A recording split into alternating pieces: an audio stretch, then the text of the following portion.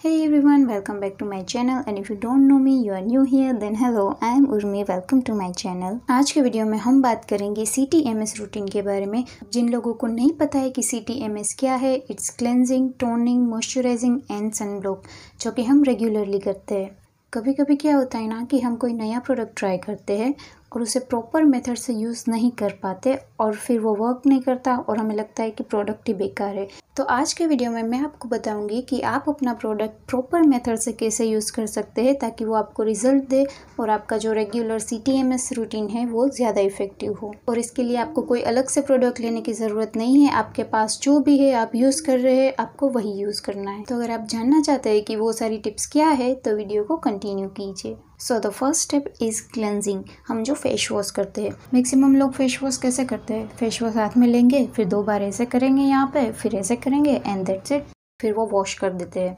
लेकिन क्या ऐसा करने से आपके फेस पे जो पूरा डर्ट ऑयल है, वो सब निकल जाएगा? नहीं। तो प्रॉपरली फेस वॉश कैसे करें?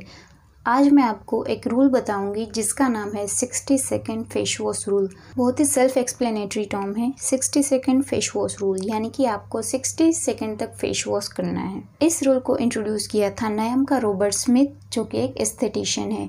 उन्होंने एक दिन ट्वीट करके बताया था कि जब आप 60 सेकेंड स्ट्रेट फेस वॉश करते हैं तो आपके फेस वॉश के जो इंग्रेडिएंट्स होते हैं, वो आपकी स्किन में अच्छे से पेनिट्रेट कर पाते हैं। मेकअप डर्ट और ऑयल रिमूव करना थोड़ा डिफ़िकल्ट होता है।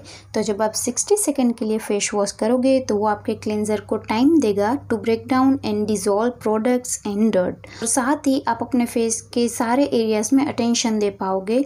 ज़्यादातर हम अपनी हेयर लाइन नोज़ की एज चिन जो लाइन ऐसे एरियाज़ को इग्नोर कर देते हैं। तो जब आप 60 सेकेंड के लिए फेस वॉश करोगे तो आप अच्छे से सारे एरिया में कॉन्सेंट्रेट कर पाओगे। और इससे क्या होगा कि आपकी स्किन सॉफ्ट होगी और स्किन में जो सीबम ब्लॉकेज है, वो अच्छे से डिजोल्व हो जाएगा। और ये आपके स्किन टेक्सचर को भी इम्प्रूव करेगा। तो अब आप जब भी फेस वॉश यूज़ करें तो याद रहे कि आपको 60 सेकेंड तक अच्छे से अपने फेस को वॉश करना है। अब सेकेंड स्टेप पे आते हैं, जो कि है टोनर जनरली टोनर दो टाइप की बोटल्स में मिलता है स्प्रे और पंप जो स्प्रे वाली बोतल है, उसमें कोई प्रॉब्लम नहीं है, क्योंकि हम डायरेक्टली उसे अपने फेस पे स्प्रे करते हैं। लेकिन जो पंप वाले टोनर्स होते हैं, उसे हम कॉटन बॉल या कॉटन पैड पे लेके यूज़ करते हैं।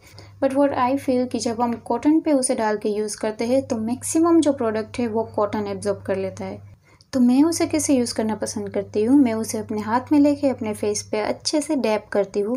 आपको बहुत ज़्यादा प्रेशर अप्लाई नहीं करना है। जब भी आप कोई भी प्रोडक्ट अपने फेस पे डैप करते हैं तो वो आपकी स्किन में अच्छे से पेनिट्रेट हो पाता है और आपका प्रोडक्ट फेस भी नहीं होता है। Moving on to third step which is moisturiser जब आप मॉइस्चराइज़र या कोई भी स्किन केयर प्रोडक्ट लगाओ तो याद रहे कि आपको उसे स्किन में डैप करना है। मैंने टोनर वाले पार्ट में भी बताया कि जब आप प्रोडक्ट को डैप करोगे तो वो आपकी स्किन में अच्छे से पेनिट्रेट करेगा। और उसे अच्छे से अपने पूरे फेस पे लगाओ। हमारे नोज़ के अराउंड का एरिया है और हमारे लिप्स के अराउंड का जो एरिया है, वो जल्दी ड्राई हो जाते हैं। तो सारे एरियाज़ पे आपको कॉन्सेंट्रेट करना है। और अगर आपकी स्किन ऑयली भी है ना तो भी आपको मॉइस्चराइज़र स्किप नहीं करना है। इससे आपकी स्किन ज़्यादा ऑयल प्रोड्यूस करेगी। आप ऐसे मॉइस्चराइज़र लगाओ जो वाटर बेस हो जेल बेस हो, या फिर आप एलोवेरा जेल भी लगा सकते हैं। और अपने फेस के साथ साथ आपकी अंडर आई और आपके लिप्स को भी आपको मॉइस्चराइज करना है। अंडर आई के लिए अगर आपके पास अलग से आई क्रीम नहीं है तो कोई प्रॉब्लम नहीं है। आपका जो रेगुलर मॉइस्चराइज़र है, वही आप अपनी अंडर आई पे लगा सकते हैं। लेकिन एक बार अपना मॉइस्चराइज़र अपनी अंडर आई पे लगाने से पहले अपने मॉइस्चराइज़र की बोतल को अच्छे से देख ले क्योंकि कई बार ऐसे इंग्रेडिएंट्स होते हैं जो आप अपनी अंडर आइज़ पे नहीं लगा सकते। तो अगर कुछ ऐसा होगा तो आपके मॉइस्चराइज़र की बोतल पे लिखा होगा कि आपको उसे अंडर आई के एरिया पे नहीं लगाना है। तो ऐसे केस में भी आप एलोवेरा जेल यूज़ कर सकते हैं। और लिप्स को मॉइस्चराइज करने के लिए हम सबके पास लिप बाम तो होता ही है। ओके okay, तो अब लास्ट स्टेप पे आते हैं जो कि है सन ब्लॉक यानी कि sunscreen I can not tell you enough how much it is important to apply a sunscreen और हमारे फेस के साथ साथ हमें इसे अपने नेक पे भी लगाना है because our neck age ages faster than our face yes yes, हमारे नेक में एजिंग जल्दी होती है हमारी फेस के कंपेयर में। और ऐसा नहीं कि मैंने सुबह सनस्क्रीन लगाया अब I am sorted for the day no क्योंकि सनस्क्रीन का असर सिर्फ़ 40 मिनट से एक घंटे तक की रहता है तो आपको एक घंटे के बाद फिर से अप्लाई करना है। आई नो ये बहुत ही ज़्यादा फ्रस्ट्रेटिंग है but we have to do it for our skin right और अगर आप कहीं बाहर जा रहे हो और वो बार बार क्रीम नहीं लगा सकते तो अभी सनस्क्रीन स्प्रे फॉर्म में भी आते हैं। आप उसे सिर्फ़ अपने फेस पे स्प्रे कर दीजिए एंड दैट्स इट और अपने फेस के साथ साथ आपके बॉडी के जो एक्सपोज पार्ट है, उस पर भी आपको सनस्क्रीन लगाना है। और अगर आप सनस्क्रीन नहीं लगाओगे तो आपकी स्किन का जो कोलाजन है, उसे आप डैमेज करोगे। कोलाजन हमारी स्किन की इलास्टिसिटी के लिए रिस्पॉन्सिबल होता है। तो अगर आप सनस्क्रीन नहीं लगाओगे तो आपकी स्किन में इलास्टिसिटी का लॉस होगा और जिससे आपको रिंकल्स होगी। और अगर आप ऐसा सोच रहे हो कि आप विंटर में और मानसून में सनस्क्रीन नहीं लगाओगे तो चलेगा। नो क्योंकि हार्मफुल यूवी ए और यूवीबी रेज जो होती है, वो क्लाउड से ब्लॉक नहीं होती है।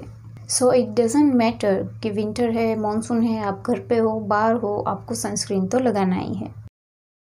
Okay that's it for this video I hope ये टिप्स आपको हेल्पफुल लगी हो। और अगर आपको ये वीडियो अच्छी लगी हो तो नीचे कमेंट सेक्शन में बताएँ, ताकि मैं और ऐसी वीडियोस बनाऊँ। लास्टली वीडियो को लाइक कर देना और अपने फ्रेंड्स के साथ शेयर भी कर देना, ताकि उन लोगों को भी ये टिप्स काम आए। और अभी तक आपने मेरे चैनल को सब्सक्राइब नहीं किया है तो मेक श्योर sure कि आप उसे सब्सक्राइब करें। साथ में जो बेल आइकन है, उसे भी हिट कर दें, ताकि मैं जब भी वीडियो अपलोड करूँ, आपको नोटिफिकेशन आ जाए। I will see you next time till then bye